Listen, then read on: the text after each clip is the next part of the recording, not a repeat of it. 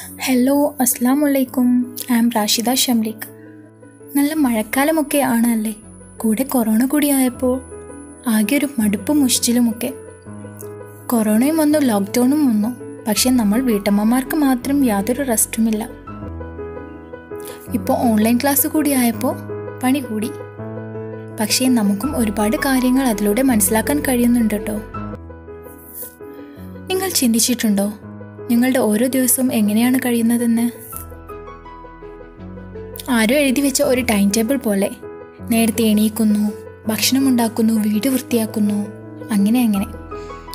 എന്തുകൊണ്ട് നമുക്ക് തന്നെ നമ്മുടെ ഓരോ ദിവസവും ഡിസൈഡ് ചെയ്തുകൂടാ? ഏതൊരു ജോലിയും വളരെ സന്തോഷത്തോടു കൂടി ചെയ്താലേ അത് ആത്മാർത്ഥയുള്ളതും വളരെ എളുപ്പവും ആവുകയുള്ളൂ. നമ്മുടെ ലോകമെന്ന് പറയുന്നത് നമ്മുടെ മക്കളും നമ്മുടെ കുടുംബവും നമ്മുടെ വീടും ഒക്കെയാണ് അവരുടെ കാര്യങ്ങൾ വളരെ സന്തോഷത്തോടു കൂടി തന്നെയാണ് നമ്മൾ ചെയ്യേണ്ടതും. ഫിസിക്കലി മെന്റലി നമ്മളിൽ വന്ന മാറ്റങ്ങൾ പോലും നമ്മൾ തിരിച്ചറിയുന്നില്ല. നമ്മൾ ഏറ്റവും വലിയ പ്രോബ്ലം എന്താണെന്നറിയോ?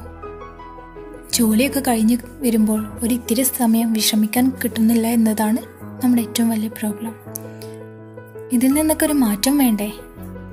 അതിനൊരു ടിപ്പ് പറഞ്ഞു തരട്ടെ? ദൈവം എല്ലാ മനുഷ്യരിലും ഒരു കഴിവ് തന്നിട്ടുണ്ട്. അത് കണ്ടെത്തി കഴിഞ്ഞാൽ പിന്നെ നമുക്ക് നമ്മുടെ സന്തോഷം വീണ്ടെടുക്കാൻ കഴിയും.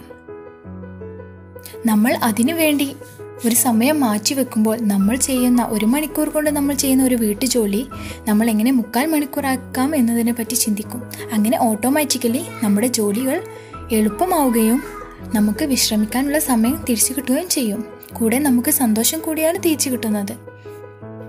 അതുപോലെ തന്നെ നമ്മൾ ഒരു കാര്യം പുതിയൊരു കാര്യം ക്രിയേറ്റ് ചെയ്യുന്നതിലൂടെ നമ്മുടെ മൈൻഡ് ഫ്രഷ് ആവുകയും നമ്മുടെ സങ്കടങ്ങൾ മാറുകയും ചെയ്യും. നമുക്കും സന്തോഷിക്കണ്ടേ? നമ്മുടെ കുടുംബത്തെ നോവിക്കാതെ. ഞാനും ഉണ്ട് നിങ്ങളുടെ കൂടെ. നമുക്ക് ഒരുമിച്ച് തുടങ്ങാം ഈ യാത്ര. Let's welcome to my channel the wonder woman ഞാൻ ഇനി ഒരു കൊച്ചു കഥ പറയാം. പണ്ട് പണ്ട് അങ്ങ് ദൂരെ പാകിസ്ഥാനിൽ ഒരു കൊച്ചു പെൺകുട്ടി ഉണ്ടായിരുന്നു. വർണങ്ങളെ സ്നേഹിച്ച് മഴവില്ലിനെ നോക്കി അവൾ ആഗ്രഹിച്ചു അവൾക്കൊരു ചിത്രകാരിയാകണമെന്ന്. വർണങ്ങൾ കൊണ്ട് അമ്മാനം പാടാൻ ഒരു ചിത്രകാരിക്കോ ചിത്രകാരനോ അല്ലാതെ മറ്റാർക്കാണ് ഭാഗ്യമുണ്ടാവുക? അല്ലേ? പക്ഷേ എല്ലാ കഥയിലും എന്ന പോലെ വിധി വില്ലനായി വന്നു. തന്റെ പതിനെട്ടാമത്തെ വയസ്സിൽ തന്നെ അവൾ വാഹിതയായി. പാകിസ്ഥാനിലെ ഒരു എയർഫോഴ്സ് പൈലറ്റ് ആയിരുന്നു അവളുടെ ഭർത്താവ്. പക്ഷേ തന്റെ ഭർത്താവിന്റെ അശ്രദ്ധ മൂലം ഒരു വലിയ കാര ആക്സിഡന്റിൽ അവൾക്കെല്ലാം നഷ്ടമായി. ഇനി ഒരിക്കലും കിടക്കയിൽ നിന്ന് എണീക്കാൻ കഴിയില്ല എന്ന് പോലും ഡോക്ടർമാർ വിധി എഴുതി. അതിനേക്കാൾ വേദനാജനകമായിരുന്നു മറ്റൊരു കാര്യം. തനിക്ക് ഇനി ഒരിക്കലും ഒരു കുഞ്ഞിന് ജന്മം നൽകാൻ കഴിയില്ല എന്ന സത്യം അവളെ വല്ലാതെ തളർത്തി. തന്റെ കൂടെ തണലായി നിൽക്കേണ്ട ഭർത്താവ് പോലും വിട്ടുപിരിഞ്ഞു പോയി.